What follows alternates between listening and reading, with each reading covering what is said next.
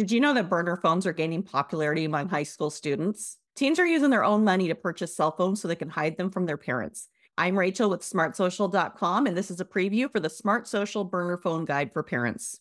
What is a burner phone? A burner phone is a prepaid mobile device that's not under contract with a wireless carrier or an out of service phone that can be used with Wi Fi. They are designed for temporary and anonymous use.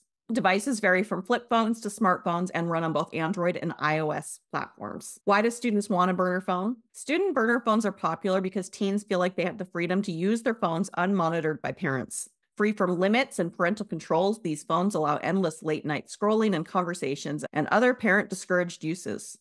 Students have a sense of privacy and feel that they can have conversations without restrictions. To access the full resource, visit smartsocial.com.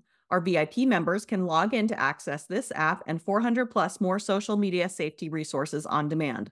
If you aren't a VIP member yet, ask your school if they are a smart social partner to get you access to these resources for free. As burner phones continue to gain popularity among teens, it's important to talk with your students about why they feel burner phones are appealing to teens and talk about the dangers that they can present.